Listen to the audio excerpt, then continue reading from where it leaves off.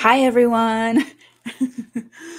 oh my gosh, it was so funny. I meant to go right at like it's actually 12:45 my time and I was so into dancing to my playlist that I didn't even realize what time it was. so I was like, "Ah, shit." So, I'm here. Um, starting a little bit early. So, I mean, technically, I'm not even late, but um, I wanted to start early today. Te- like on your guys' schedule, it says 12 o'clock. Um, I'm sorry, 11 o'clock, right? 12, 12 o'clock. These time zones and changes are fucking me up if I'm yeah, being honest here, because I'm on mountain time, but everything that I set, like whenever I do these things, I always put Pacific time and Eastern time because that's like such a common general time zone. And I'm like, it's really messing me up. Um, so right now it's 1248 in Pacific time, it's 1148. So, anyways, um, I started, I wanted to start early because I want to have James come on right at 12. Um, Harriet has something, so she has to, she only has a 30 minute window with us. So we do have to start her at 12:30. So we are in a time crunch. Um, however, there is going to be your promised bonus training about getting work for the holidays. So I'm going to start with some just like announcements. I'm going to announce the winner and a couple other things before we bring James on at 12. Um, and just say some some, you know, last words because this is the official last day. Now, just so you guys know, the replays will be available for the next week. Once that week goes by, um, essentially, this particular uh, Facebook group will go away and so make sure if you've made friends that you connect with them, that you stay in touch with them and everything like that. Exchange information. Um, we promote community and that's like one of the things that we love to do that's why i do what i do is because bringing the like-minded makeup artists into a group and community is like seriously it's a really powerful thing to do so make sure you connect with one another this all of these um, replays will be available for the next week um, and then, yes, like I was saying, stay after the two guest speakers because you will be receiving that holiday, um, getting booked for the holidays bonus. And it's going to be pretty quick, but very powerful at the same time. So before we bring James on, I want to announce the winner from last night's challenge. So without further ado, I'm going to let me just make sure that I have, oh, where is it? Um, I want to make sure that I have her last name correct before I say this. Um, I'm really excited. So the last last night's challenge yesterday was taking all about taking action, right?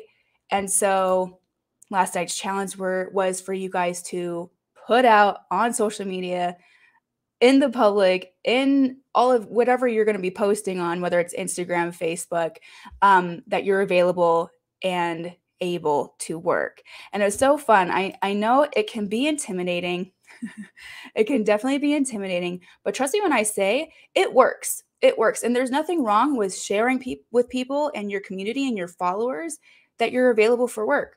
Um, it just re- it's a constant reminder that you are a working makeup artist and right now you are available and nobody knows that until you kind of spell it out for them.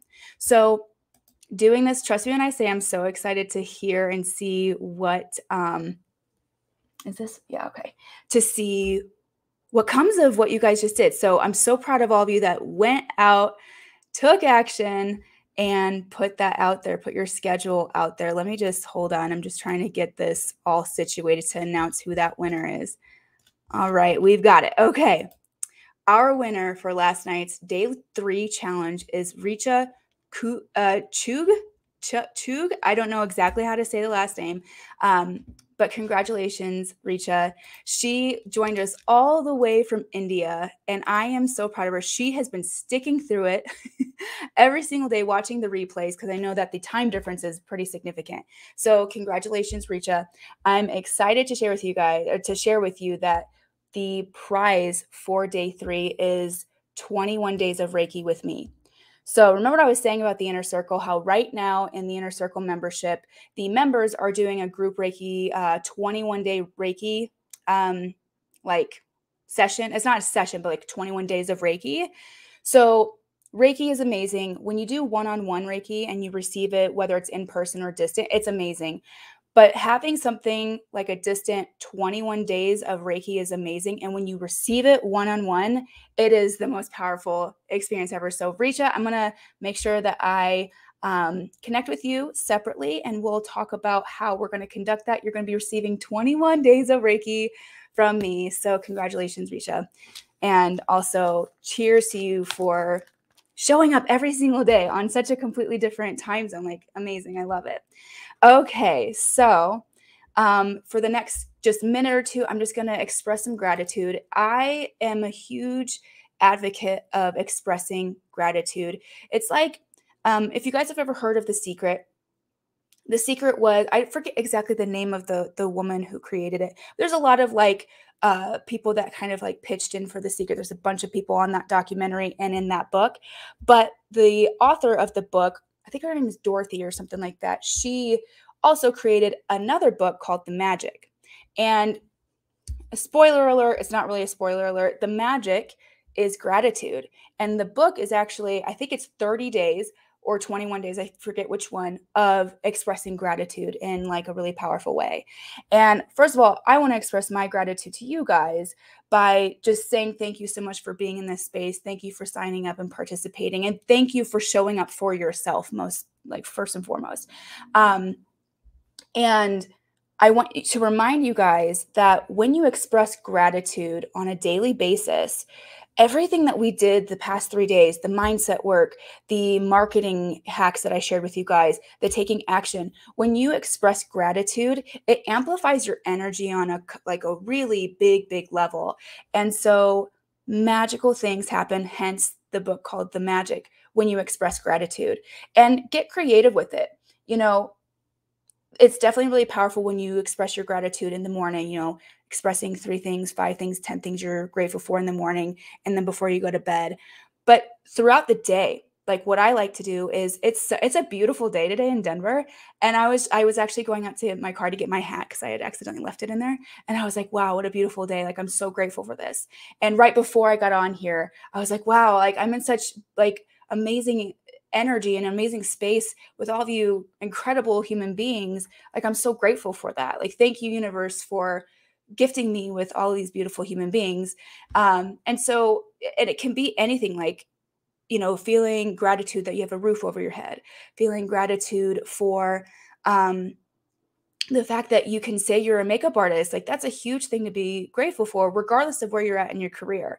Um, not very many people can say that. Some people don't always um, take that that leap of faith and do makeup. Some people just kind of kind of push it to the side and like ah you know i'm whatever like I'll, I'll I'll it just is what it is like it's not anything I can do and then they like don't pursue their dreams right? So feel gratitude that you are a makeup artist that you made that decision.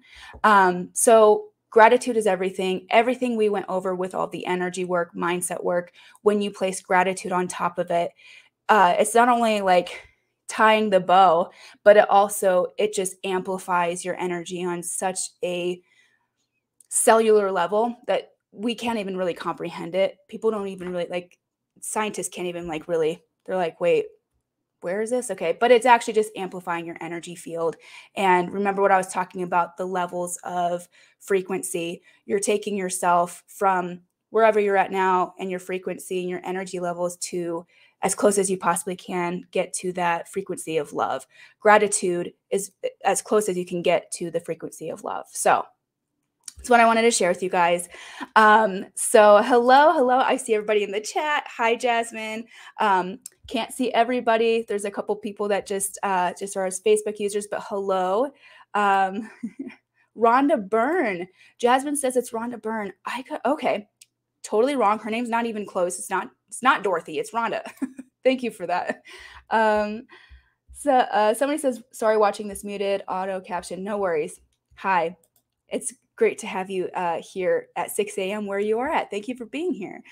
Okay, you guys. So I'm going to go ahead and I'm going to give the grand uh, introduction to bring on our guest, James Vincent. You guys, before I bring him on, I, oof, I'm already going to get like emotional here. okay, just got to get a second. He is an incredible human being to say the least. Um, whew, you guys, I've never got like got this emotional before. Um,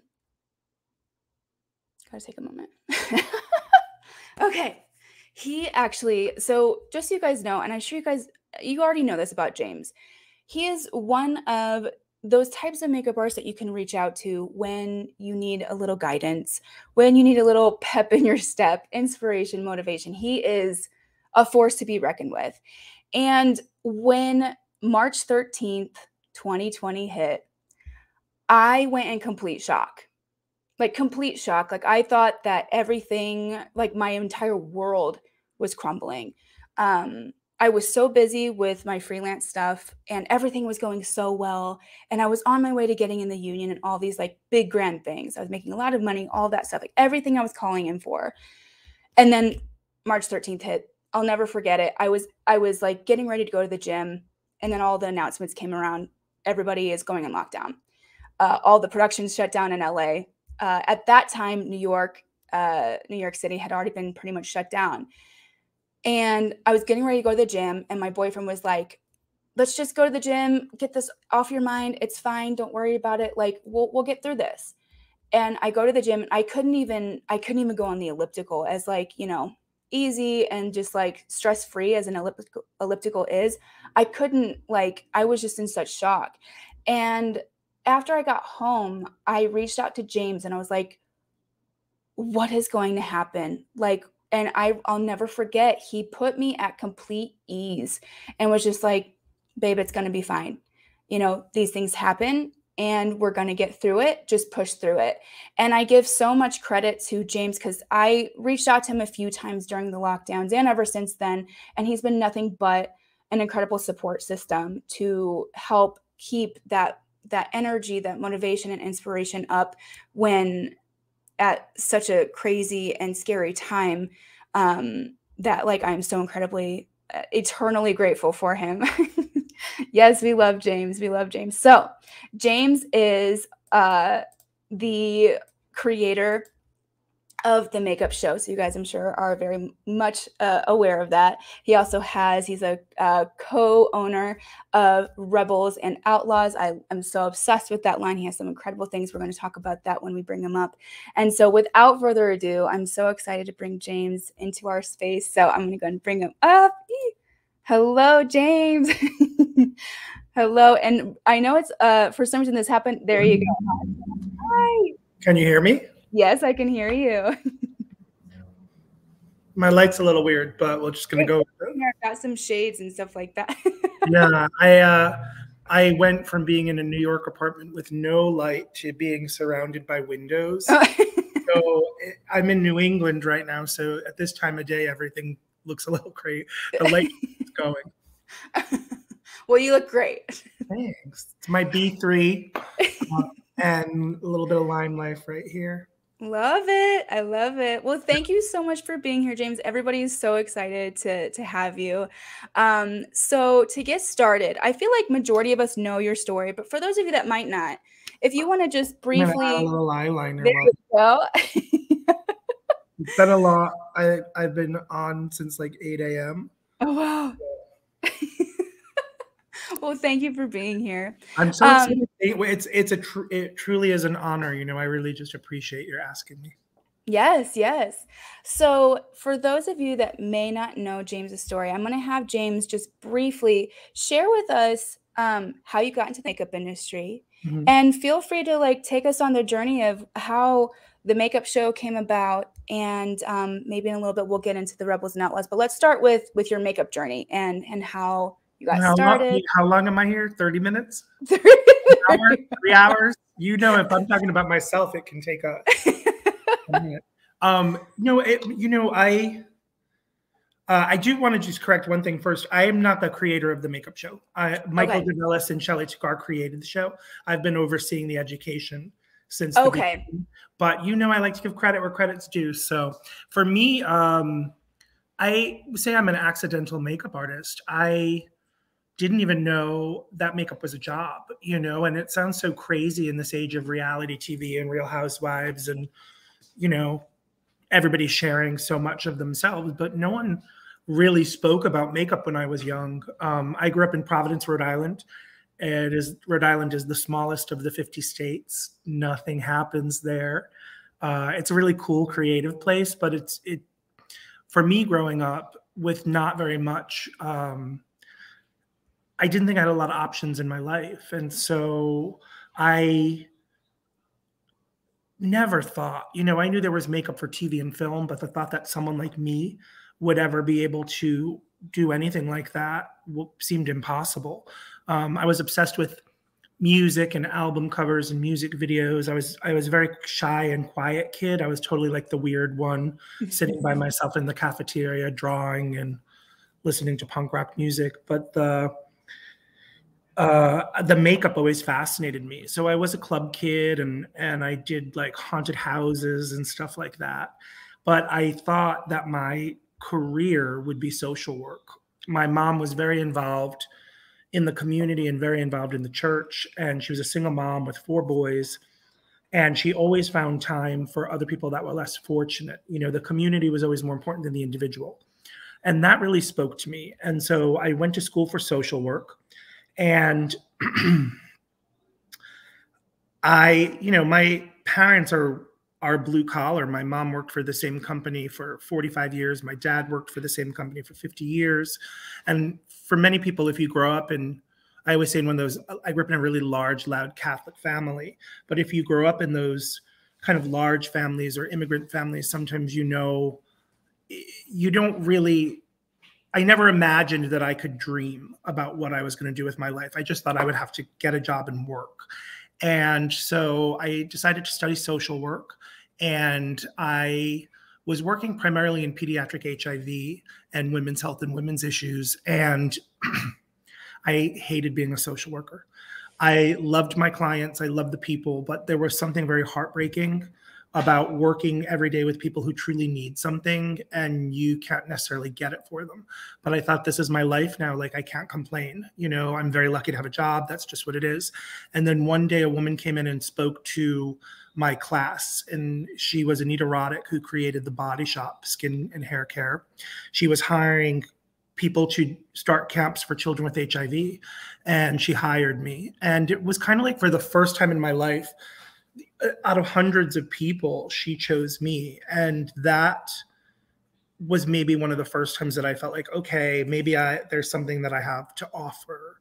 And then I decided to get my master's degree, uh, moved to Atlanta, and no one in my family had ever been on a plane. No one in my family had ever left the state. But I knew that this was opportunity, and I knew that I had to take it. And while I was in school, I decided that my thesis would be on women of color in the white beauty myth because for me growing up in a mixed family in the 90s I, I, really didn't see us anywhere. You know there was no size there was no shape there was no color. And so i became very interested in why a, the beauty industry that is supposed to make people feel better was leaving so many people out of the conversation. And uh, because of that paper i got hired to be a part of the team that launched Mac Cosmetics in the southern part of the U.S. So when I started with Mac, I think there were two, two or three stores in the country, and uh, that was it. And I was still in school, and I became a trainer for Mac. And I called my mom one day, and I was like, "Yeah, I'm not going to get my master's degree." And she was like, "What are you going to do?" and I was like, "I'm going to be a makeup artist." And yeah, and she was like, you know, I'm from Rhode Island, which is that heavy acting. She was like, makeup artist. I never heard of it. Is it a job? And Aww. I was like, I don't really know because nobody was a makeup artist then, you know. And uh, and now it's been 26 ish years I've been mm-hmm. working. I love it. Story, but that's yeah, that's the story. I love it. You're such a trailblazer. I am gosh, I actually just side note, um, Anita, how do you say her last name? Red, Red? Anita Roddick. Yes, she. Yeah. Um, remember when the Body Shop had their at home stuff? I that's my first yeah, dabbling about it. Mm-hmm. That was my first dabbling, so I'm definitely a big fan of Anita. And so I did not know that about that you worked with her. For some reason, I've never, I've never picked that up. That you've you've mentioned that before.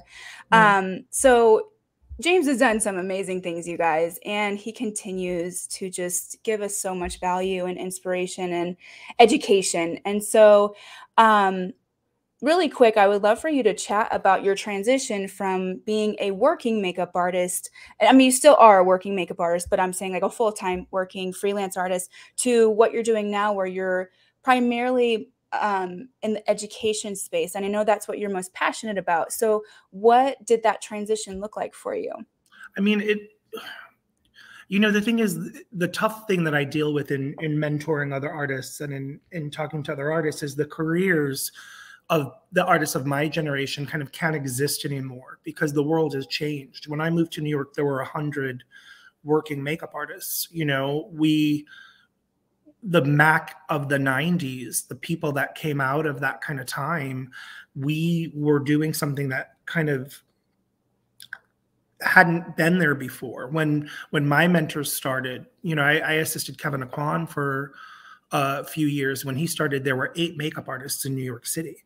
And that's a really crazy thing to think about. So I think that when I started doing makeup, things were very set. You know, you kind of assisted and then you became when you, the pure person you were assisting said you were ready you kind of went to the agency. The first tuesday of every month you would bring your book around to different agencies and try and get different work. It was just a it was before cell phones you know? So it was this very active career but we knew what we had to do to kind of move up. And then everything started to shift and i just felt like i, I remember being on a, a set one day you know and i was doing a lot of celebrity stuff a lot of fashion stuff a lot of music videos um you know it, I had always that was my world, that was my pursuit. I wanted to be in fashion. And then I remember waking up one day and I was shooting with a very famous photographer and he was very inappropriate with a very young model and I spoke out against it and my agent at the time said, you know, you need to keep your mouth shut. You won't never work. And I was like, I I'm sorry, this is like disgusting. And mm-hmm. um, and that's when I just started to say, you know what? We are such individual, isolated artists that uh, no one even spoke. Artists were competitive. They didn't share ideas or information or, you know, anything like that. And so I became very excited about the idea of community. Like, how can we kind of bring community in? And then Michael DeVellis had started the Powder Group at the time, and uh, he asked me to come in and talk about marketing. I, I had my own makeup brand at, at the time, and uh, so I went in and I just started to see like community is how we're going to carry this forward. Education is how we're going to carry this forward. And so my agents at the time and all of my friends said you can't teach like people who can't do it teach it you know that's mm-hmm. the kind of thing and then i saw Dany Sanz uh, speak in paris and it just opened up you know Dany Sanz is the creator of Make Up For Ever she education was such a huge part of the brand when Dany was there. And uh, it was kind of my permission. And so i started working with the powder group working with the makeup show. Um, and i don't own either of those things. I'm a consultant. Uh, and then brands started to hire me because many brands didn't have training departments. They didn't have um, anything kind of in place to kind of keep artists moving forward. And so in the last 20 something years you know i've been on five continents for Make Up For Ever. I trained Smashbox as international artists. I helped choose the Sephora team. I interviewed over 2,800 makeup artists to wow. to build the Fenty team for Rihanna. Um, you know, so I think like my career kind of changed, even though I'm still shooting and things like that. I see a bigger picture in what is possible. And I am not, you know, if I'm on set, I don't I, I don't want my legacy to be a magazine cover or a music video. You know, someone can it, people come to me and they say, "Oh, you did Amy Winehouse or this Lady Gaga video," or yes, I did 10 years ago. But what I want to do now is amplify young talent and decolonize beauty and keep moving forward with inclusion and have tough conversations and give makeup artists opportunity and access as well as education. And so, yes, makeup is still how I make the most of my money is with photo shoots and and things like that but my passion is definitely building artists to help them become the artists they want to be Mm-hmm. I love that. And you definitely are doing that. You're accomplishing that in a very big way. I love it. And um, so, as far as how Rebels and Outlaws came about, I know that you are very much big in the manifesting rituals and, yes. you know, all of the energy work and um, crystals and candles and everything like that, candle rituals. And so, how and when did Rebels and Outlaws come about? Um, you know, I, I say it, it, came about pretty quickly, but it was decades in the making. Um, candles had always been a part of kind of my creativity, my family. It was just, you know, I grew up in a very Italian, very Catholic kind of family. And so candles were just everywhere. I was an altar boy. I was the president of my state's Catholic youth organization. I worked for the Diocese of Providence as a social worker. So like the idea of candles and and spirituality and acts of service, you know, were very important to me. And rebels had kind of always been there. I've always made candles for my clients. I've always kind of brought crystals to set and curated uh, the thing. I've always made toners myself because I, I really love toners and I like them to be very straightforward and simple. And what had what happened really was we were on the Fenty project. Um, Jeremy, my husband, and I were both doing. Oh, you got muted. yes, and a few other people, and uh, we were all over the world. We interviewed 2,800 artists. I was bringing all of these products to different people to try, and then they had offered me a position, or they wanted me to consider some some different things, and uh, and I had a few offers on the table from different brands at that time, and they were all big money opportunities uh, and big title opportunities. And coming from a, a family of meager means, it would have been very, you know, it, it was a motivator. Mm-hmm. And so Jeremy said, "What are you going to do?" And so I said, "Well, let me let me go on a retreat."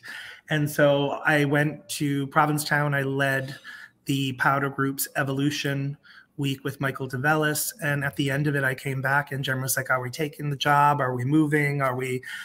And I said, You know what? I, I want to make my candles. Um, I felt like so many artists at that time were feeling depleted.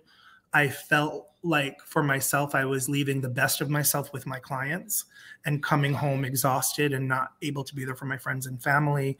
And I thought, um, a lot of my ritual and, and, ceremony and kind of tools that I used as a social worker, as well as an artist and creative, could kind of come together and hopefully offer other artists a way to move forward.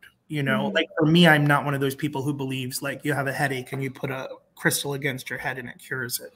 I think that as artists and creatives, sometimes we can get caught up in the things that are going on and sometimes we need something to a talisman or something to kind of make make it tangible so that we can very consciously say okay this morning i'm focusing on gratitude or on my physical wellness i have to today make sure that i'm drinking this water whatever it is you know but i think as artists sometimes we're so up here that things like a candle or pulling a card or a, a gratitude journal can take the esoteric or the theoretic and make it more actual and tangible, you know? Mm-hmm. I love that. And first of all, your candles are amazing. They smell so beautiful. And I pulled some out to show you how I finished yes. if we have time. Yes, yes. And I so I always, whenever I have questions about like candle rituals or like, I actually, I, don't, I'm not too familiar with talisman, talismans. Is that how you say it? Yeah. talismans. Um, and how exactly, I feel like I'm doing it wrong whenever I'm like coming up with like, okay, what do I do? Um, but I would love for you to share with our community your favorite manifesting ritual and how you prepare, sure. kind of the energy behind it, what you do, and um, you know, just kind of explain it for those yeah. that might not know. Cool. Um, I will say, you know, for me, people when you're talking about spirituality or you're talking about connection, like so many people have so many labels and so many ideas. And so for me, I would say I'm not super deity based. Like for me, the power is the people. Um, I still say prayers that I grew up saying as a Catholic child. Mm-hmm. I still chant Buddhist chants every morning. I definitely take time to you know look at other world religions and some of the things that they're doing but for me the spirit you know is such an important part of our creativity. It's that fire in our belly. It's the thing that that makes us different. And so kind of caring for that wellness our occupational wellness our energetic wellness our emotional our physical our you know spiritual wellness allows us to be better artists. And so i thought the first thing that i like to do a very simple ritual is to kind of play with oracle cards. And you can anytime anywhere do a one card pull and so this is one of my favorite decks that i use a lot with clients and, and with my artists it's the uh, the artist's way oh wow it's Julia Cameron's The Artist Way, which is a great discipline for a makeup artist to kind of put themselves through. But so this has nothing to do with spirituality or religion. So if you have a client who maybe is a little more conservative or you're not really sure, but you want to kind of get refocused, I love this. And so I just pulled the card for you guys. And it says, as artists, we belong to an ancient and holy tribe. We are the carriers of the truth that spirit moves through us all. That's beautiful. Yeah. And so like those are little things that I'll do. But I thought what I would do kind of is quickly kind of talk you through my morning because I think this is a great time to start putting some of these pieces in. Oh, you got muted again. I must keep hitting the mute thing. moving that mouse. I'm animated. Um, I, I thought I could talk you through my morning kind of ritual. And uh, Rebels and Outlaws is really Rebels and Outlaws sacred ceremonies.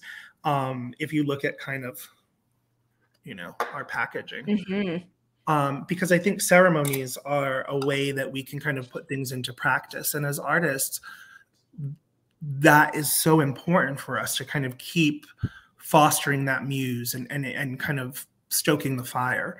And so I start each morning very similarly. Um, since COVID, because I, I, I had COVID pretty bad, so like some of these things have have had to change. I'll kind of talk about that as I go through. But um, I start each morning before I pick up my phone, before I do any other thing, you know, and I think about uh, things I'm grateful for. And I keep a gratitude journal by my bed. And because I practicing gratitude is such an important, powerful thing. I know you spoke about it earlier and it doesn't always need to be major you know sometimes those moments of gratitude might be i'm thankful for you know the oatmeal that i mm-hmm. had this morning but the nice thing about a gratitude journal is on those days where you kind of don't have anything in mind that you're grateful for you're feeling really like uh, angry or upset or in some of those base emotions you can look back and have the reminder of, of what you're grateful for. Then I also like to start each day with breath work and movement. And I, I try and do three to eight minutes of breath work. Um, because of COVID, I had a lot of lung issues that I'm still dealing with. And uh, so the breath work definitely helps with that and movement, at least eight minutes of movement. Even if I uh, am going to the gym or doing something physical, I will get up at that time and, and try and just get my body moving, get those kind of things ignited, and still no phone in my hand, you know? Meditation is also a big part of my morning. I am a terrible meditator, but I practice it every day. Like I had this moment in the pandemic where you know, we were locked in an apartment in New York City with COVID. So it was like, oh, what else are we going to do? I write a lot of articles and books. And uh, I read an article and it said that not everyone has voices in their head. And I said to Jeremy, my husband, like, oh my god can you believe they're like i just read that not everybody has voices in their head that's so crazy and he was like what are you talking about and i was like you know those voices that kind of like when you make a decision it says what about this and what about that Yeah. And i have like stage directions and camera angles and soundtrack and he was like i don't have that and i was like what and so what i kind of realized at that moment was even when I'm meditating, you know, I have those voices there. So I have to give myself tools to meditate with that allow me to get into that space. And so one of the things that I'll do in the morning is I'll play with a, uh, I'll kind of pull my candle and my crystal for the day. So law of attraction is one of my favorite. It's it's herbaceous, it's mint, it's vetiver, it's green tea, and it's all about kind of pulling positive things in abundance. And I'll pair it with citrine, and I'll have my meditation space. I'll have my gratitude journal,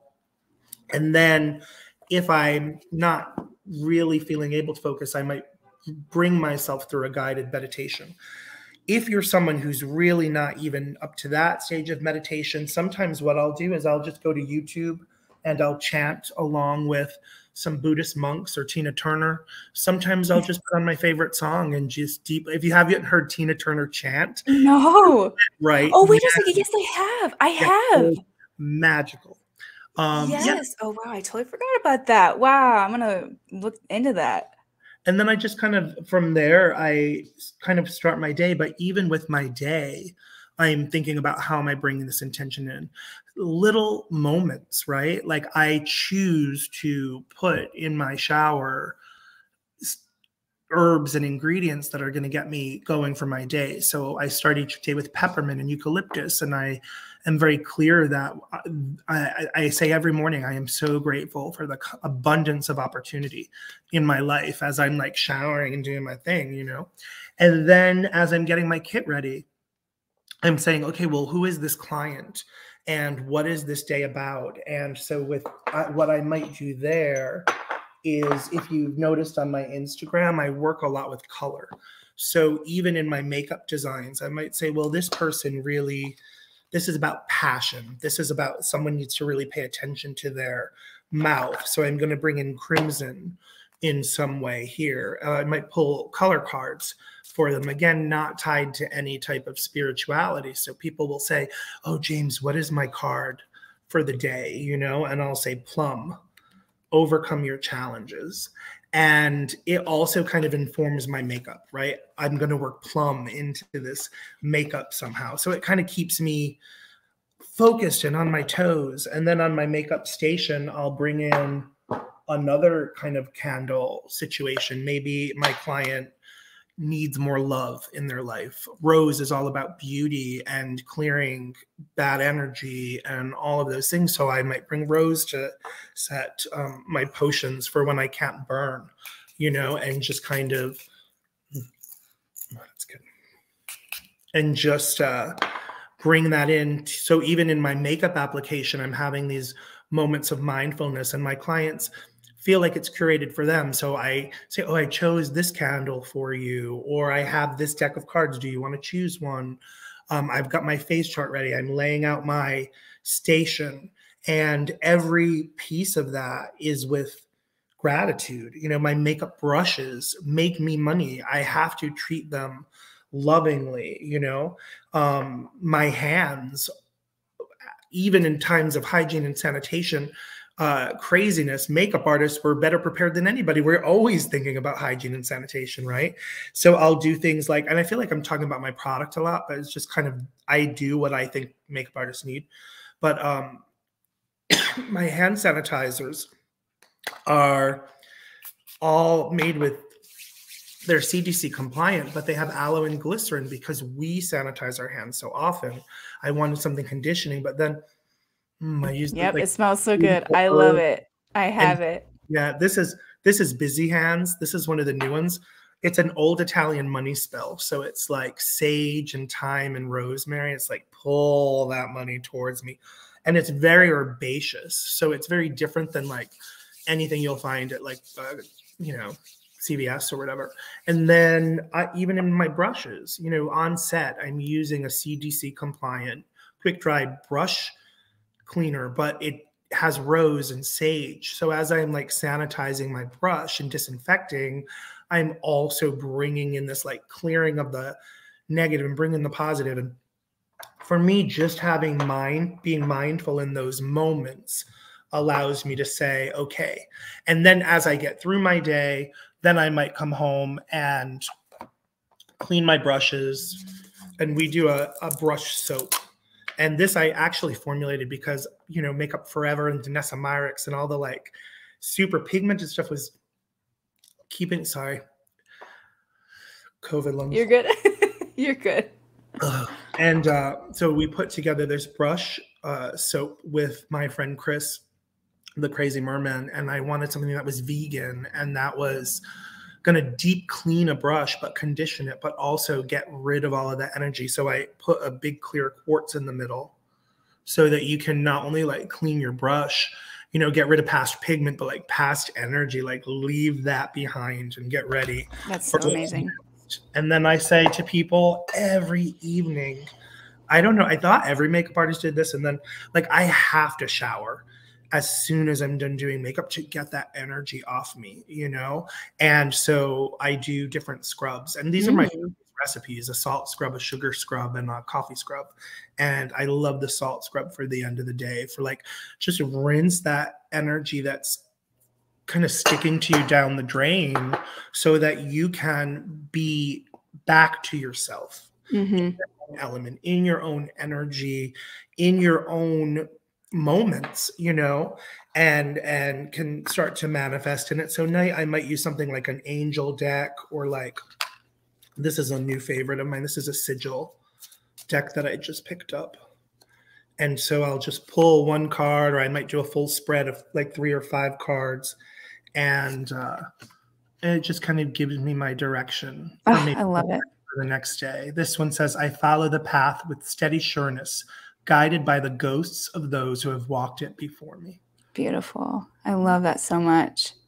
Oh, I love all your products so much. And I love how, like, the ingredients are so intentional. Like, how brilliant is it that in the little the the brush cleaner you have the placement of the the quartz crystal to have that that like the the physical aspect so you can kind of like kind of scrub it a little bit more but also the properties of the crystal are also mm-hmm. being activated which is just i just love it. It's amazing. Well and ever you know and i think that's important you know now um, we've been doing some trade shows for the holidays and we just had the makeup show and people say like oh candles. Now i understand some of it is access. Like i love candles so i'll go to the 99 cent store and, and get a candle. But what i try and do is is something that brings in the intention. And so, what a lot of people don't realize is that every step of this is like touches our hands. Like we get a clear, organic, beautiful soy wax, and Jeremy adds in color and fragrance. And like I meditate on the colors and I say, well, what does this color bring forward? And then we bring in the scents, but we don't work with synthetics. We work with essential oils and beautiful oils because I don't want like a synthetic fragrance. If it's intention, it needs to be the actual. And our crystals, our herbs, our florals, they're all sourced from people that we can connect to. I know where every piece of it comes from. It's not just ordered off of Amazon. my herbs, my rosemary that I'm using for the candles I'm doing today, uh, it's from a makeup artist, my friend Michelle Jack in New Jersey, who does my sage and my rosemary, because that's intentional, right? The gold, we switched over to gold because eh, during COVID, you know, I wanted something that brought abundance and prosperity and opportunity.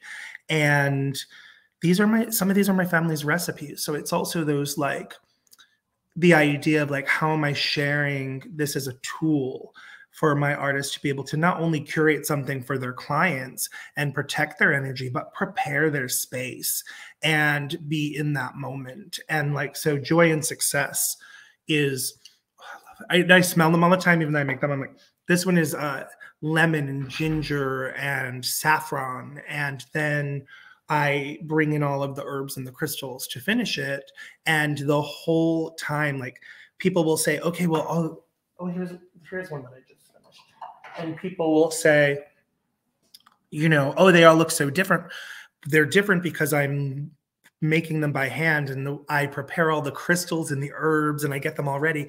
But then I feel like if someone picks up this candle, for example, uh, the Amazonite is a little more prominent. That person might need help with letting go of some trauma around their heart or really focusing on self love. The citrine, right? It's bright. It reminds you of better days. It's all about like bringing you all of the good things and and giving you that optimism. Carnelian is for our creativity, right? It sits in that chakra. So it's all about like your sexuality, right? Your ability to connect to other people. We birth ideas, we birth creativity. So that's the kind of cre- the thought that goes into me putting together a candle just the same way i put thought into designing a makeup or creating a lipstick or putting together a, a, an event. I want whoever is bringing this home right to be able to have this shared big magic that we all are connected to. Artists are we hold the culture right? And we carry it forward. So we are as a community very important in times of crisis. And as i have seen my artists kind of struggle in the last few years you know ma- makeup is already a struggle. It's already trying to do something that people don't know always know how to do and convincing your family that it's a real job and like all of those things. And then a pandemic gets put on top of it it's like, okay, can we just have a few moments of magic and a few moments to kind of self, give ourselves some care the way we care for our clients and our kids and whoever else it is, our cats, you know? Yes, the cats that I have in my room. no, I love it. I'm like, it's so funny. I also low key, I'm just like you and I both have like the whole the. I know it's very dramatic.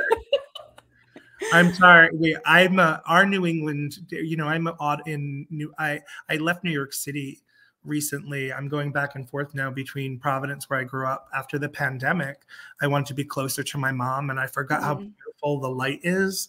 But it is so drastically uh, changing at this time of day. Yes, same here. Um, so the last question that I have for you is, what um, just the last words of wisdom any last bits of advice that you have for makeup artists before before we switch over? I think you know you've got to be authentic. You've got to be able to bring yourself into everything that you're doing.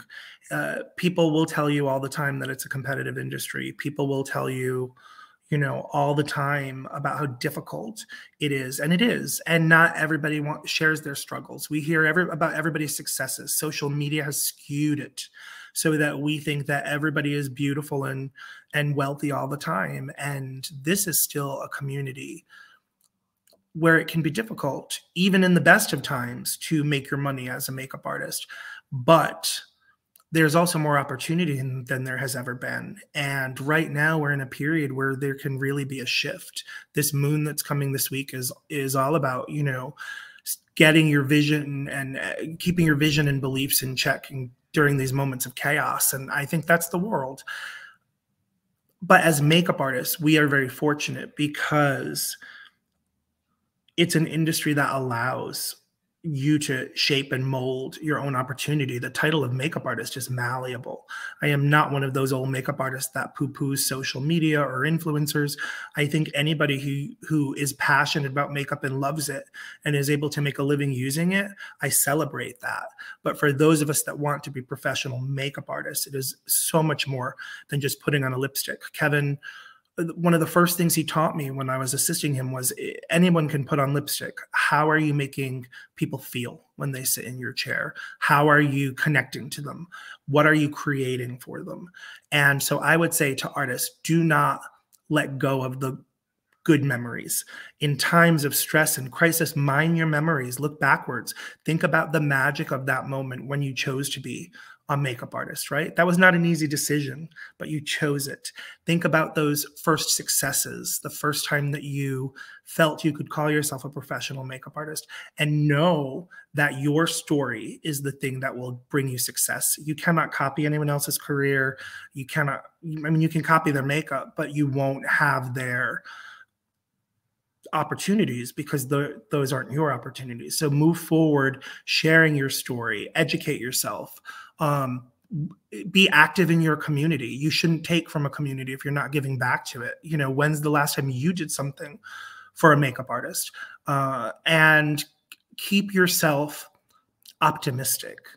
Uh, this industry is so rewarding. You know, it has allowed this fat, weird kid from the smallest state in the country to live all over the world, to work all over the world, to make a living making candles and and painting faces. Like how fortunate I am. My mom called me this morning and she was like, "Oh my God, you got another crazy day! I can't even believe it." You got, and I was like, "How fortunate am I that I have 20." three hours of work to do today you know how how hashtag blessed you know like eh, we are artists and that in itself is revolutionary and you have so much power uh, to empower yourself to become the artist that you want to be. You just have to put the plan in place so that you can get there and surround yourself with mentors and peers that can push you and pull you and protect you when they need to. Uh, Issa Rae says all the time, don't always look above you, but look next to you.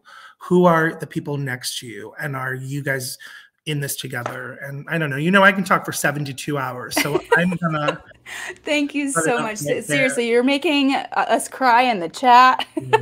I did so do. Thank you. If I have one more second. Yes, yes, real quick. I did do a special batch of Joy and Success candles. I poured for you guys. I'm going to finish them on the full moon. Um, there is a code if you guys want to go to the website. It's 25 uh, it's 20% off at rebelsandoutlawsnyc.com. And I'm doing this special batch for this group. So it's our joy and success candle. It is all about bringing you bright optimism and, and that success that you want. So I'll finish one just quickly so you can see. It's yeah. I'm going fast. You're good. You're good. What do you have the coupon code so I can add it into the banner really quick? Yeah, it's cleanse Cleanse. 20, all caps. Cleanse 20.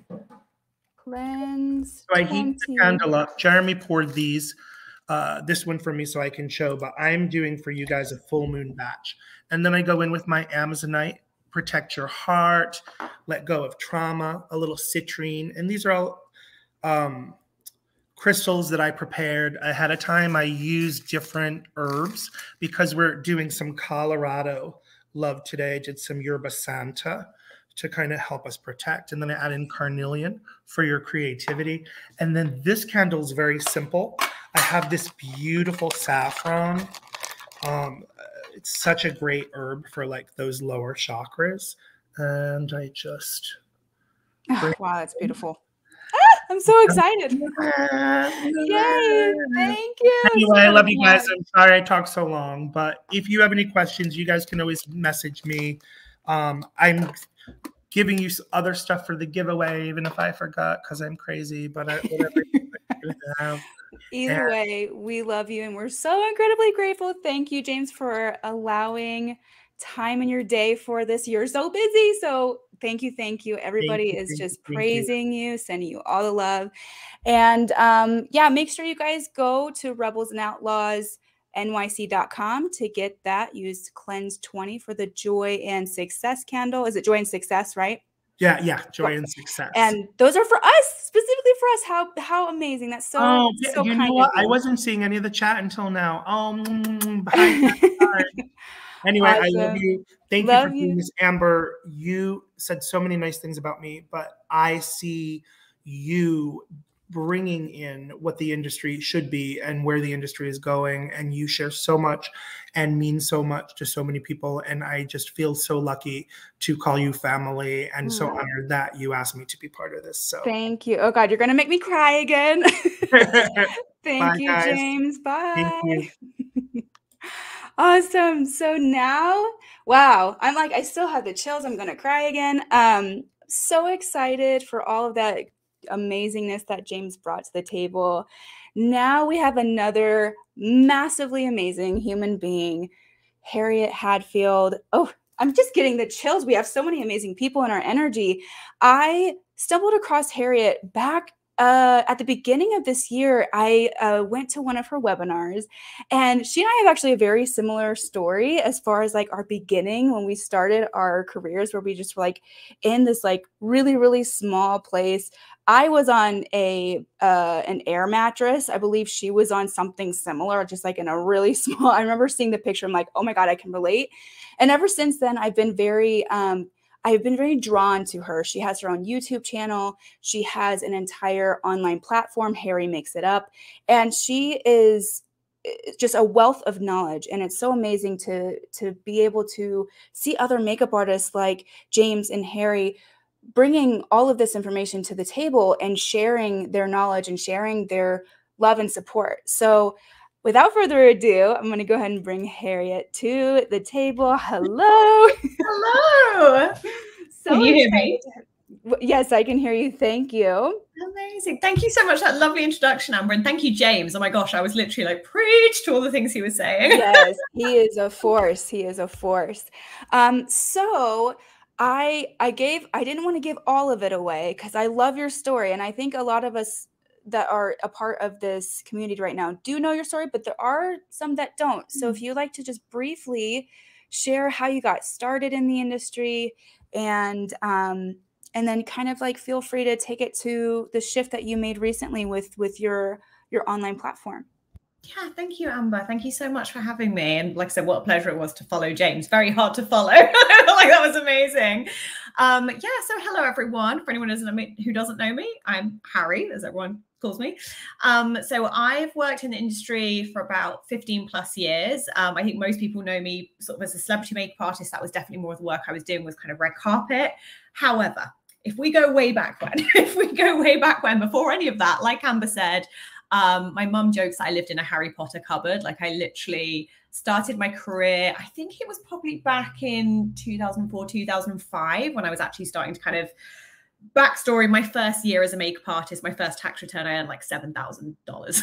So i was like this isn't gonna work. This isn't gonna support me. This feels pretty hard. And i was a yes person. I said yes to absolutely everything. I had that hustle mentality where i was like yeah i just gotta work harder. Um, i was paying about 30 i was obviously back in london at this point so i was living in a room i couldn't stand up in there is picture evidence on my uh, Instagram. And I thought that was a great deal. I was like, wonderful. This is how I get to assist in London. Brilliant. Like I, you know, I like to think I've always been able to see opportunity. Um, and there very much was a feeling of, I think when I look back now, again, hindsight is a wonderful thing. Back then, the hardest realization I have now is how much my worth was attached to my work. So I very much had big goals. I was very passionate and I always encourage ambition. But I think something I've noticed in a lot of my clients as well is it's very hard to separate your work from your worth. So it's really easy to make it about the next gig, the next client, the next paycheck, the big agent. And so, of course, for me, I had very similar goals to maybe a lot of you guys where, you know, I wanted the big agent, I wanted to move to LA, work with A list celebrities. And I think as those things started happening, it was very exciting, but I never felt safe. I never felt like it was enough. So even when I was working with people like Naomi Watts, even when I was starting to kind of monetize my YouTube channel, I always felt this need of, I, I would say, a lack of fulfillment. So there was definitely this feeling of, I kept waiting to feel like, okay, cool, I'm going to be like, it's enough now. I'm done. Like as if the goalposts would never keep getting wider. Um, and the problem was in me because I wasn't honest with myself. I think when I look back, I feel like there was a real unwillingness to be honest about what I'd let my work mean. And I'd forgotten, like James was saying, I'd forgotten why I started. you know, I'd made it about what it meant, who I was working with, was how I determined my worth as a person. So I was burnt out. I was very lonely. I would describe myself as a yes person. And I think just before the, well, actually, no, I think it was probably sort of like four years ago, I'd say, maybe even five. It was when I was still in London. I'd started dabbling in like online marketing. I got very fascinated by the entrepreneurial world And in a way, it was like, oh, that's not for me. I'm a creative. I'm not a business person. And so I can look back now at all the mind drama I had and all the lies my brain wanted to tell me, like, you can't be both. so that's where I was. And I'd started dabbling with kind of course creation, things like that. And it was really successful. So I was like, oh, this could be a thing.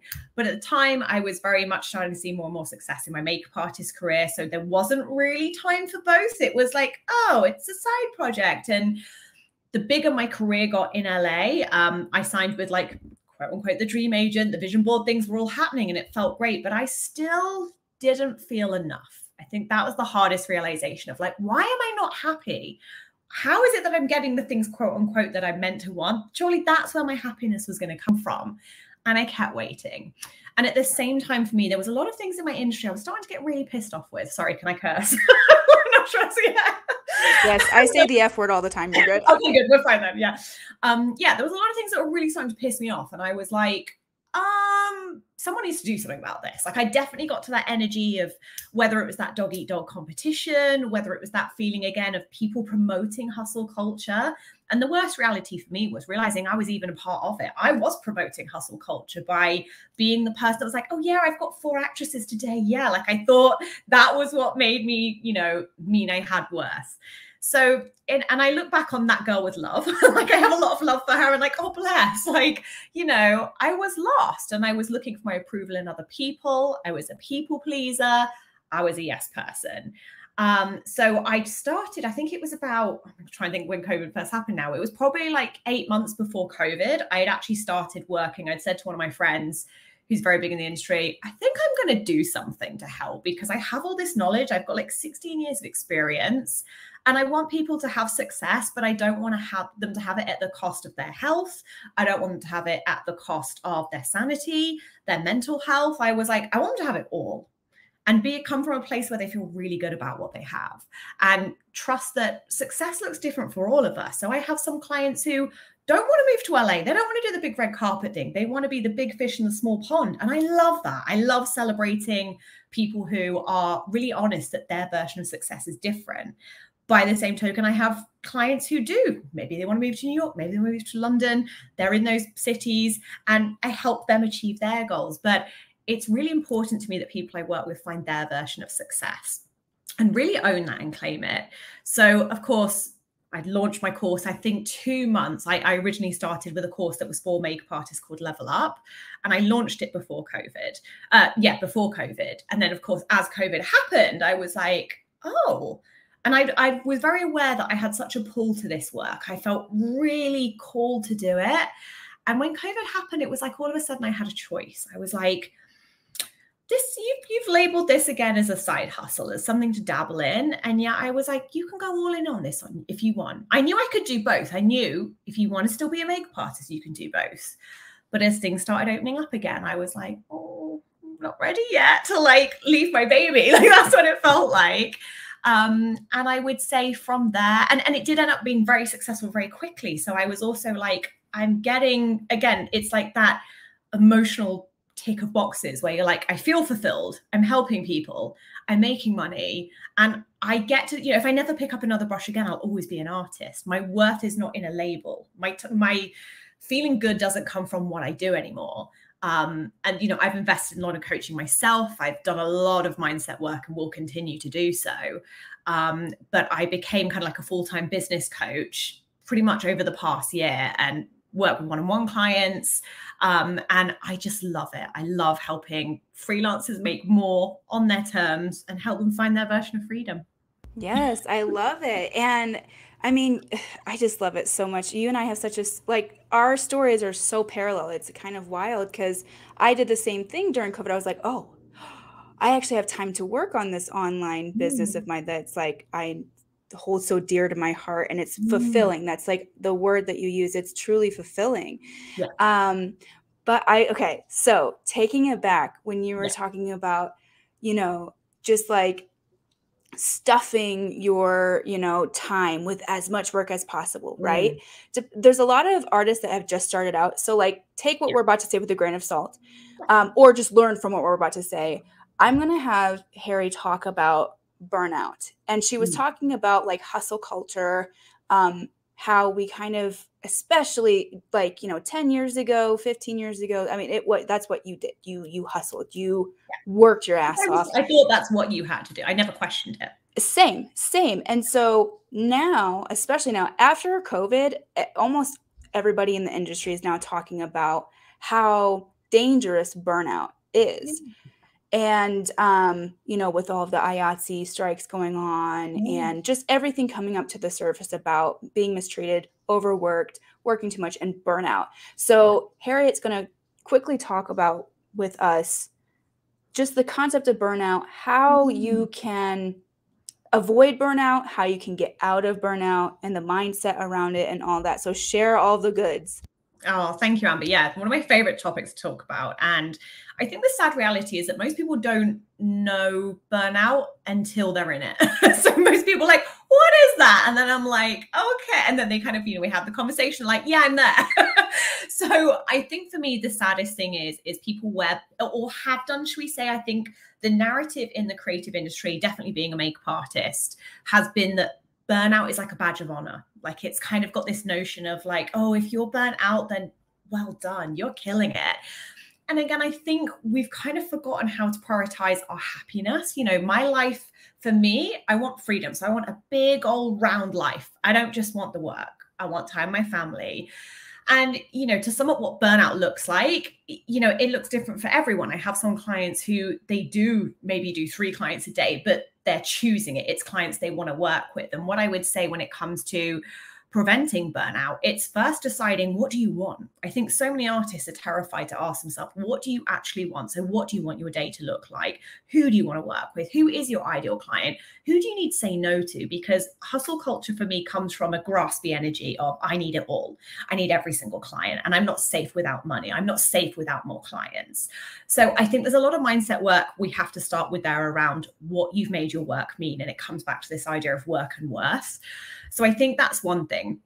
I think this badge of honor as well. I know when I was assisting as a makeup artist, um, I assisted some very big people in the industry early in my career, and I, I replicated what I saw.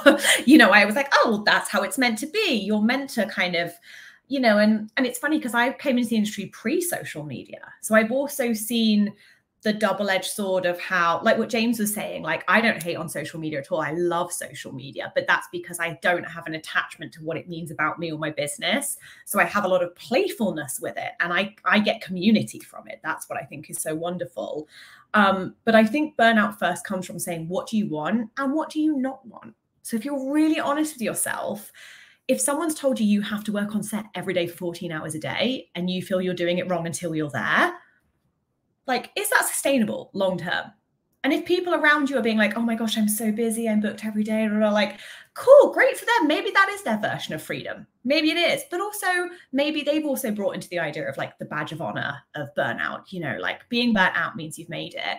Whereas what i was aiming for and definitely like the last few years i think i had a big turning point i would say like the past five years of my career what I realized and what I now teach a lot of my clients is this idea of working less but earning more. So getting really clear around who your ideal clients are, because saying no actually creates demand. And I think people forget that when you're saying yes to everything, you're saying no to the people you really want.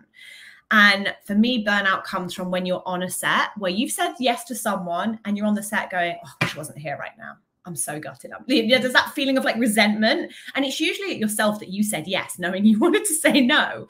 And like you said, Amber, I know there may be some artists watching this right now who are newer, where maybe for you, taking more experiences is about finding out what you want. So it may be that you have to do a bit more dabbling, you have to do a bit more experimentation but I, what I would say is trust your gut. I know early on in my career, I came into being a makeup artist thinking I was going to be like a fashion week makeup artist. I was like, yeah, I'm going to like do London, New York, and all this. I became a celebrity makeup artist really accidentally. So in my head, I was like, that's what a real make. Again, we all have these. I, there's so much snobbery in our industry as well of like, that's what a makeup artist looks like. This is what it does. So I brought into things I'd heard around me. And I remember doing like a year of fashion week and being like, I fucking hate it. I was literally like, this is awful. I was like, I remember going to Milan, I remember going to London. Again, it was just all burnout hustle culture, crap money, back to back things like no food, you know, having to cover my own flights. And I was just like, this should have to be really fun for me to want to do it. And that's what I would say to you guys. When you're busy, it should be because you're doing things you want to be doing. Okay. If you're busy and burnt out and you're like, why am I doing this again? You've got to have a little chat with yourself. And I think that's the thing. Don't be afraid to check in with you and go, who said it has to be this way? You know, my biggest freedom came from realizing, and, and it was, I would say, the latter part of my career, the last kind of five years. And it was moving to LA as well. I think I'd realized my last few years working in London, I was doing exclusively red carpet.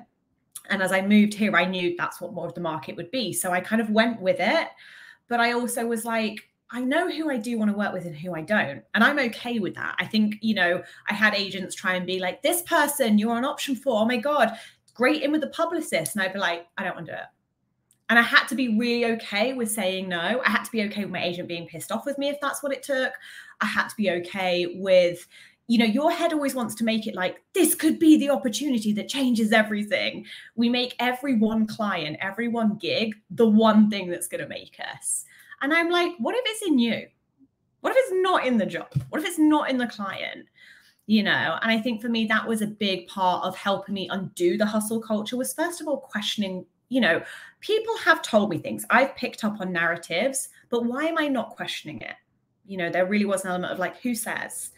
And yeah. if I get to re- if I get to rewrite my own rules, what does that look like? And it, it is funny. I find it with all my clients now they kind of can't believe how freeing it is when they're like, I have more time for life mm-hmm. and I'm making more money. Like it's like exactly. it really, yeah. So that I, that's kind of how I would sort of dismantle it a little bit. That such beautifully said, and she painted like the perfect picture of everything I've ever personally expressed in my um my opinion on hustle culture hustle culture and you talked about kind of shifting into uh, basically doing less for more money, right? Yeah. So that looks like raising your prices, creating a yeah. product line, something yeah. like you and I do, where we have our own platforms, like online courses and programs. So for those that might be like hearing us say, say no to the jobs yeah. and you'll you know mm-hmm. raise your prices. I i i know the feeling of like why would i say I, can't financially say no. So can you share the mm-hmm. mindset mm-hmm. reframing or reprogramming that helped you maybe when you were kind of like intimidated to make that first move um, so that anybody that's watching right now can can hear what you would suggest for for them feeling the same thing? Yeah that's a great question amber. So for me, what started the catalyst, if you like, was first of all asking myself the questions that I'd never dared to question. It was kind of, and for me, a lot of that was doing work around money, my beliefs around money. I really had to dismantle the idea of like, safety and money being the same thing because yes there is freedom in having money i believe that for me more money is more choices it's more options it's being able to give to causes i care about it's able to do work on a bigger scale that i want to do but it's also not my everything. Like it's one part of the pie. So if you think of it like a pie, we all love pie.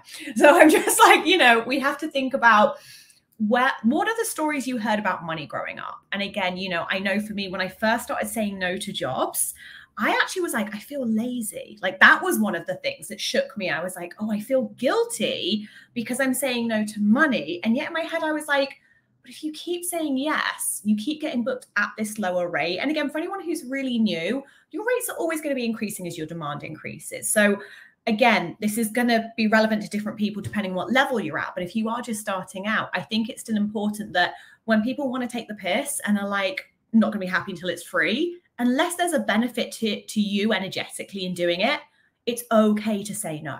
Okay. Yes, you may do things for experience. Yes, you may do things for a contact there are different ways we get paid other than money. There are energetic benefits to doing work, which I st- even at the end I was still doing new actresses that were going to have a big Netflix show for $250 because they had a huge publicist, even though my day rate was a lot more than that.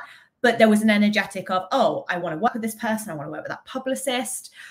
But it was a choice. And I think if you tell yourself you have no choice, and if your energy around money is very, I need it, it's graspy, the reality is, I would say to my clients, like if you put the problem in the middle of a page, okay, so if your problem is, I need money, first of all, is that a problem? I'm always very like, is it a problem? And then you think about all the solutions. So you just do a, a brain dump and put all the solutions. You don't have to like all the solutions. But what helped me was like, I could get a business loan. I could get a credit card. I could go work in Starbucks alongside. You know, and it's funny because each time I thought of a solution, my ego would be like, no one could know you worked at Starbucks if you did, you know, like my brain wanted to be like, no. so it's so funny how when you become really aware of like your brain's narrative of again, what people will think of you, how it will look, your brain wants to be like, this is the only option. You have to say yes. Whereas I, and you know, and I've seen it time and time again. I saw people in the industry that even when I was working at a really top level, though, people my agency, people like, you know, Patrick Ta, who kind of like came out of nowhere. Like he hadn't assisted loads of people and been in the industry years and years and years. He kind of came out of nowhere. And I think people forget that there are some people that just have the mindset like, why not me? What am I waiting for? Why do I feel like I have to assist for 10 years and work for free forever? So for me, I think it does start with your money story. What have you made money mean to you? Like my favorite, you know, think about what your parents said as kids. One of my favorite things is when people say money doesn't grow on trees. And yeah, I'm like, but trees are made of paper and paper is money. money is printed on paper. So I'm like, well, kind of does. So think about what you heard growing up and you have to be willing to question what you have made money mean. And I think for me, the most freeing realization, even before I was doing passive income products, was and, and the products I now sell and coaching and everything, was that I know how to sell myself. And I feel really good about selling. Like selling to me is not icky. I believe people need my service. So it's not just money, it's how you feel about promoting yourself, it's how you feel about negotiating. And I think for me, I had to really undo all of the thoughts I had around selling because yes we're creatives but you are business owners as well guys like i want that you get to be both okay you really do get to be both so i think for me that was a huge part of it and accepting well if i'm going to do it my way what does that look like and the most freeing thought i'll share with you that changed the game for me was i am not in a rush like that for me that thought alone was like a mantra so stepping out of hustle culture whenever there was an opportunity presented where i was like should I, shouldn't I? I would be like, does this feel like I'm oper- operating out of freedom or fear? Like that thought for me is how I make majority of my business decisions now. Wow. So the mantra that you say on a daily basis is I'm not in a rush. I'm not in a rush. Ooh, I like that one. That one's really good because time is such a it's so relative and it's such a an illusion, you know what I'm saying? So it's like why are we in a rush to do all of these things, right? And thank yeah. you so much by the way for um, speaking to both of the yeah. audiences, the ones that are, you know, 5, yeah. 10, 15 years in, but also those that are new, because it is a little bit of a different yeah. um, experience. And I love mm. that you said that there's an energetic exchange, because that's what I teach as well, is mm. if you're doing, you know, a test shoot, like my portfolio 95% of it is test shoots and I wasn't paid for most of them, but I get so much work from that. So energetically, I've gotten a lot of money and you know from doing that. So mm-hmm. But I love that the whole mindset shift of you don't have to say yes to everything, you know, mm. and, and, even spending money. I think even spending money to make money. I think that's something my clients always find funny. Like one of my friends who's a really huge photographer, she works, she does all the rare beauty campaigns. She does GHD, she does Oribe, like or loads of these big beauty brands. And she will still, even before she was making those big money days, I remember us having a conversation about what investing in you and your business looks like. And she was like, I will still spend $7,000 creating a shoot in a studio to attract the clients I want because I know who I want to work with. And I know that $7,000 will turn into $70,000. And even when she was only making $500 a month or $1,000 a month, she was like, I would pay $70 to buy a Colorama in my garage. So it's always going to look different depending on where you are. But again, it's your mindset. Do you see yourself, whether it's investing in something like this, whether it's investing in a coach, whether it's investing in a studio, do you believe, do you trust yourself to see a return of investment? Yeah. Oh, that's, I like that. That's mm. a really great quote. Do you trust mm. yourself to make the investment and that it's going yeah. to come back like threefold or tenfold or whatever you yeah. set out. So um I know so if, I know that you have to get going soon. So I want to talk about really quick before you have to leave um about your your uh masterclass that you just did. So yes. she is gifting you guys access to that. So it is on that landing page that I gave to you guys in the yes. Facebook group. So she's talking about how she created consistent 10k months. So if you want to just give us a little yeah. a little like a sneak peek and share exactly what they're going to learn in that masterclass so they can go sign up? Amazing. Yeah, thanks, Amber. Yeah, so for everyone who is here with Amber today, this training has actually kind of already finished and it's not, you can't find it anywhere. So you guys are getting like the very last sneak peek. It'll be a limited time um, that it's available for as well, and then it will disappear. But I wanted, I did a training recently on how I created consistent 10K months because I think consistency and consistent income is something that feels so elusive to freelancers. But there's a catch. This training is about doing it without hustle culture in a way that wins back your time and in a way that is attracting what I like to call premium clients. And everyone has a different idea what premium looks like, but to me, it just means people that love to pay you. so it doesn't matter what price range you're selling at. For me, I believe in teaching freelancers, especially how to make more without the hustle and without that kind of graspy energy and in a way that you feel really good selling your service. So you come from a place of like people are lucky to work with me. Like that's what i want for all of you when you leave this if you do my training is to come away being like oh my god my clients are so friggin lucky to work with me.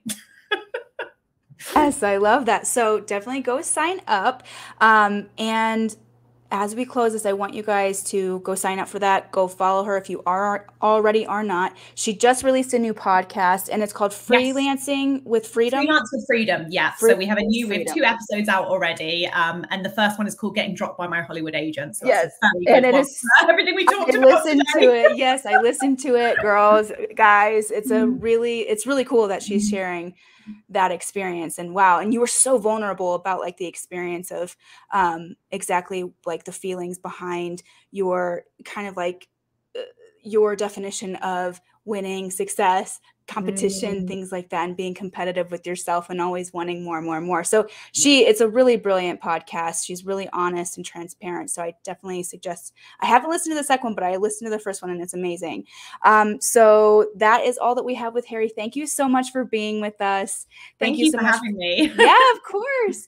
And um, yeah, you guys definitely make sure you say hi to Harry and uh, thank her for for spending time with us because I know she's a busy woman as well. Oh, no, thank you so much for having me, Amber. It was such an honor and I love the work you do. And again, it's just nice seeing more. I think the best thing for me that has come out of, especially post COVID is just how many artists are like, it doesn't have to be the way we've been told it is. We don't have to be in this dog eat dog world. We can all support each other, promote each other.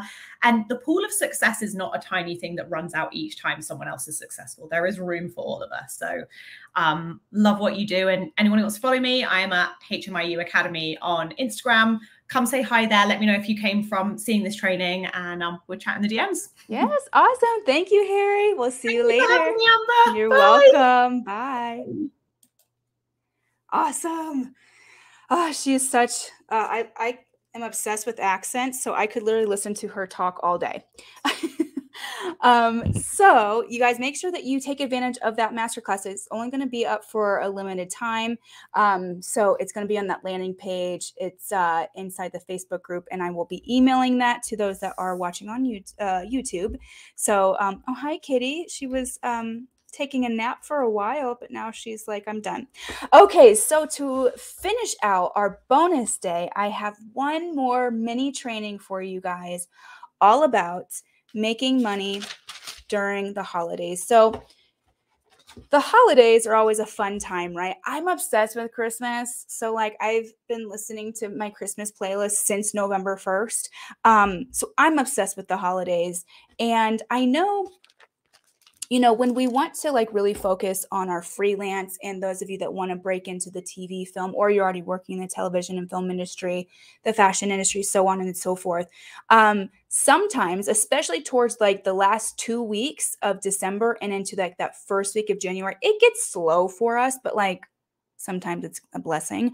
Um, because a lot of the times in the production world, the productions are trying to fit in all of the stuff right before that like Christmas holiday break, right? And uh, New Year break. So, um, with that said, for those of you that aren't, you know, fully like being like super full time booked with the production world, I have five ideas for you guys to generate income for the holiday season. Thanksgiving's next week. So we're already like, we're in it, right? So, first, first thing that you guys can do. That is like, I think every single one of us, if you are not fully booked free in your freelance world, like in your freelance career, offering virtual classes. But okay, COVID, terrible, scary, you know, bad, bad times, right? However, what did come from the lockdowns and the pandemic is the sense of the virtual world. Uh, the amount of people that are doing online courses, virtual classes, anything that would like boot camps, challenges where we're coming together and experiencing something virtually all together. Virtual makeup lessons, just you know, there was a lot of artists that I personally know that made a decent income during COVID because they were doing online one on one virtual makeup lessons. Now, take it a bit further. So you can offer virtual lessons for holiday pricing, however you that looks like for you. You can do packages, you can do an hourly rate, you can do a you know flat rate, whatever you want to do. It can be any type of look that you want, and you just allow people to pay you for your time to learn how to do their makeup for the holidays. Um, like I said, I know a lot of you guys kind of already do this. A lot of artists did this during the lockdowns and it kind of like fizzled out. And it's only because like we all started going back to work in the physical, like we're like leaving and going doing makeup on people. But virtual classes for holiday, it's still a thing. So don't discount that. The best way to promote that is what we did yesterday, which is promoting your services on your Instagram, promoting, hey, I'm starting to do virtual classes for the holidays.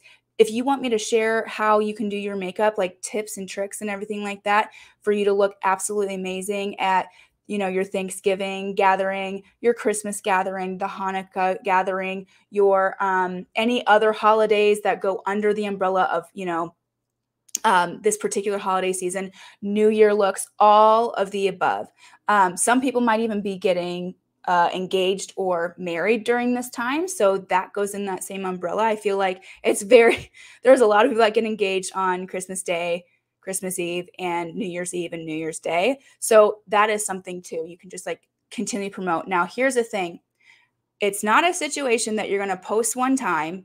This goes for, this is not just for the virtual classes I'm talking about, this is for anything. But if you want to offer virtual classes or offer that you have times available, it's not just I'm going to post it once and whatever. There is a, and I totally forgot to say this yesterday, or I'm sorry, on day two.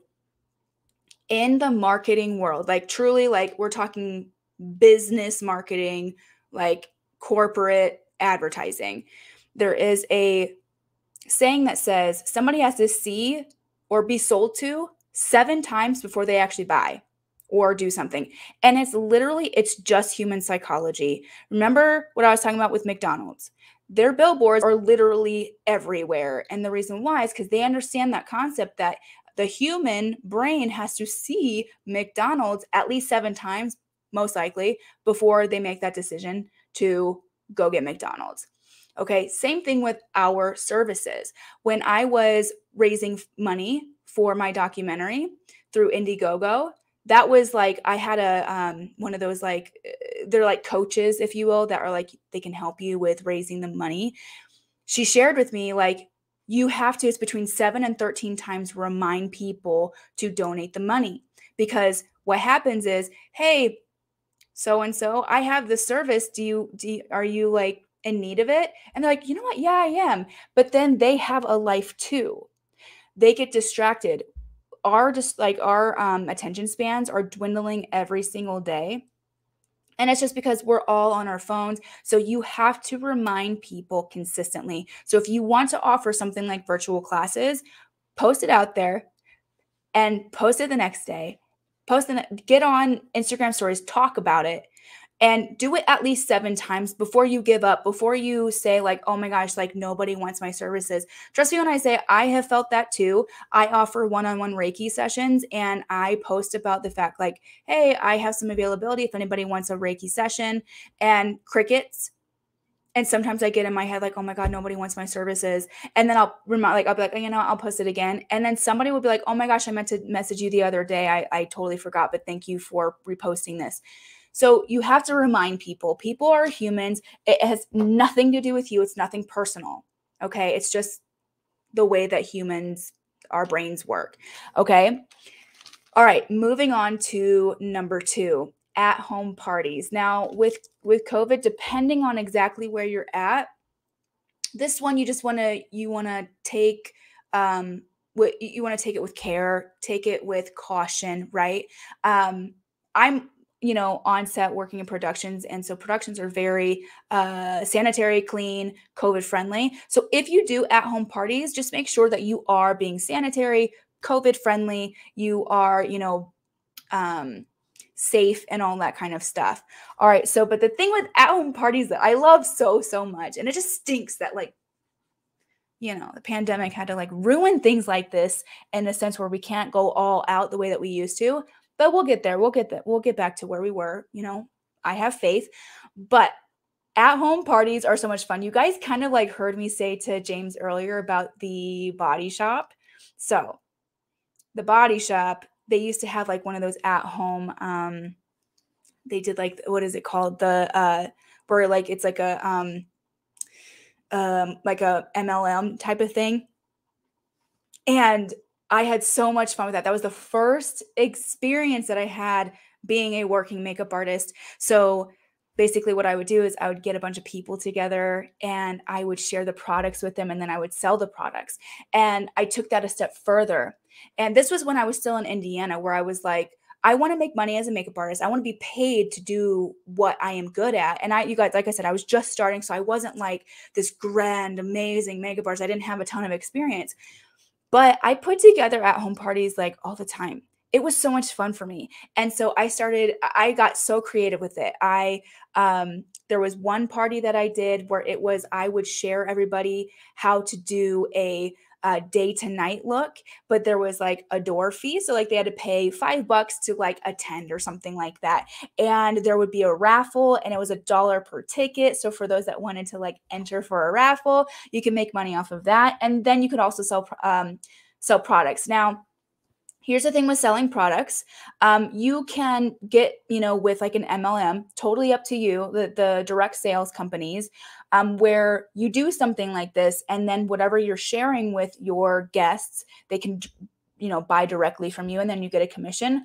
Or you know you could go into the route of having your products and then say for instance you're using like stila you're using um i don't know uh what else do i even like Urban Decay. I'm totally spacing on brands right now, and that's kind of embarrassing because there's a million that I could be saying. Bobbi Brown, whatever. Um, you can reach out to these brands and ask if they have affiliate programs, okay? And then what you do at these, you know, these at-home parties is you share what you're already using in your kit. You're, you know, you know, educating about these products, and then you can just like create a link or something like that that has all of the um, links that go directly to the websites for them to purchase the the products that they want with your affiliate link and then you can get commission off of that. Um, or take a step further if you do um, have like a business license and you can reach out to brands where you're actually selling them wholesale you can do orders that way as well so just a several ways that you can make money. At home parties are like I love them. And right now, the holidays, like you guys can get into like corporate parties too. Like get a bunch of people together for everybody to either get their makeup done, uh education on how to do their makeup, whatever. There's like so many creative ways that you can do that. Okay. Uh, the next way is holiday um, photos. So this is something that I would suggest creating a post on your Instagram or your Facebook and then boosting. So create make sure that your Instagram account is on creator mode or business mode and that you have an ads account set up with Facebook so that you they can charge you to promote. And basically when you boost the ad, I'm sorry, boost the post, you pay for more people to see that post and you can create a very specific demographic. If you're, you know, in a very specific area, like for instance, I would choose, like, say I'm doing um, I don't know, men's grooming for your holiday party or something like that. I could create a photo on my Instagram account, my personal one, and then I would boost it and I would choose men that are in the Denver, Colorado area um, of a certain demographic uh, with certain keywords and all that kind of stuff. And it will boost that post in front of your ideal client that you are trying to book with in the location that you are in. And the cool thing is you can like you can promote it on any way. Remember I was just saying about the the uh, corporate stuff, you can reach out to corporate companies because they do corporate photos and they do holiday photos, like believe it or not, um, and they pay a lot of money. So you can, you know, uh, you can reach out to them like individually. You can like connect with them on social media. You can send them an email with the offers that you have, or you can boost that post and essentially offer your services for holiday photos, holiday parties, uh, holiday events, all of that good stuff. And especially with New Year's, that's probably a, a really, really big one. Um, and and to be honest, like if you, I I highly suggest creating packages for Black Friday and or just like holiday packages. Don't I wouldn't necessarily like discount your individual prices because you don't want I don't really um I no longer really am a fan of discounting your rates unless you start your rates really high and you discount them to like the rate that you want to be at. That's kind of it's a it's a marketing thing. It's you know, corporate companies do this all the time. But anyways, creating packages so that that ticket price for you is a lot higher and you're not um you're not losing money because you're it's, it's a bigger package kind of like with the bridal industry. It's it's really lucrative to have bridal packages rather than like individual prices and people asking for discounts or whatever. Um so create holiday packages create a black friday package and promote that. Okay? Now the next one is like um I I don't want to say cringe cringeworthy, but like just hear me out. Seasonal retail. Now, I personally don't like retail at all. I'm like Harriet was just saying that she's really good with selling. Y'all, I can't. I am terrible with selling. I used to work uh, for like a bunch of um, brands as like freelancer, like a freelance. They, so like makeup brands, they hire freelance artists to like travel to different locations of like Ulta's, Sephora's, uh, Macy's, so on and so forth to represent their brand and sell. And I'll just put it this way, I never hit I never hit the minimums that we were supposed to. But if you are really great with people, if you are really, you know, especially those of you that are really just starting, retail is a really really great way for you just to be in it. Have people sit in that chair and show them really fun makeup and makeup looks and tests and stuff like that. Um, so, with seasonal retail, you guys, because we had 2020 and everything went like woo, like just like underground, right? This year, it's like catch up. Like we are catching up with that, with what happened last year. And I'm not even kidding you. Every single store I have gone to, like everywhere, uh, there's a, a we're hiring sign. So we places are hiring left and right. So I have faith that you guys can get a job literally today if you walked in a place, gave your application, and started working just seasonally, right? So if you are in a period of time right now that you are slower um, and you do need some extra money, retail for holiday is um, very much an option that I, I definitely think that it's a it's definitely not something to forget about or discount. All right. And the fifth and final one is create something to sell. So if you guys noticed, every single one of the four artists that I brought onto this boot camp, they all have something else that they do aside from their freelance career. Let me, I'll, I'll bring you in on a little bit of a secret.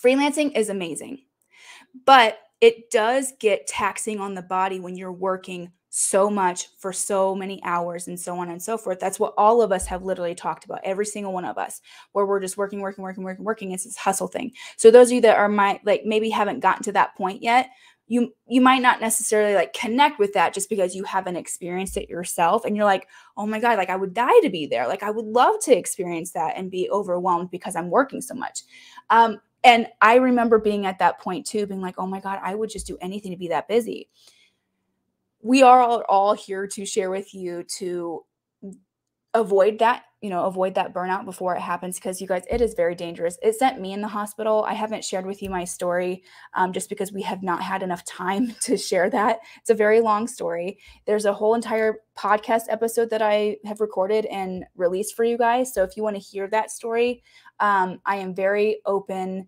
about what happened with me and um, what literally like drove me to the ground and and it shifted everything for me. So feel free to listen to that if you're really interested in that. Um and so i it's like me really I, not only am i promoting you guys to like uh, like avoid burnout but the other artists that i brought are also reminding you to do the same. Now like i said every single one of them has another stream of income. And if you're like James, you've got like 15 streams of income, which is amazing. We as makeup artists, in order for us to be able to thrive and have true balance where we're doing what we love and saying yes to the jobs that we feel really good about and not having to say yes to everything because financially we have to um, having the balance of having the time with your family, having the time to travel. You guys, just so you guys know, I didn't, I, this past September was my first vacation I had ever taken in the 13 years I have worked as a makeup artist. 13 years, and I haven't taken a vacation. Now, want to like put this out there that I have gone back home to Indiana to visit um, during periods of times like the holidays and a couple times during you know a few summers. But that to me is not a vacation. It's going and visiting family. Like I'm saying, like going on vacation where you're literally like disconnected. You're with a cool, fun group of people, or your significant other, or by yourself, or your best friends, whatever, and you're just having an experience with no nowhere to be, no um like any of that right? A true vacation that i've finally experienced that for the first time in 13 years back in september. It's very much needed. Um so um where was i going with this? Oh so having some sort of other option for you another stream of income aside from the freelance that you guys all are here to to pursue is highly i highly suggest it highly, highly, highly suggest it. Okay. I personally am a firm supporter in online courses, online programs. Every single one of you have something that you could share. It doesn't necessarily have to be about makeup. So don't think so like linearly. Like you can branch out if there's something else, like say for instance, you are a genius when it comes to crystals. You know, create a course about crystals and maybe you can integrate it like in the makeup community or you don't have to at all. You can just make it very like open to anybody. Um james he and his partner created rebels and outlaws. It's all it, it's products and yes they integrate it into the makeup industry but you don't have to be a makeup artist to buy their products right? Create candles. You can create jewelry. Create an you know start an etsy um, you can do uh, you can offer coaching programs if you feel like there is a subject that you feel really good about coaching other people on. There's a lot of things that you that we can do. So that is the fifth one that i suggest you guys do if you are looking to make more money during the holidays. Just put it out there you know? Uh, like i said one of our inner circle members she just released her online membership.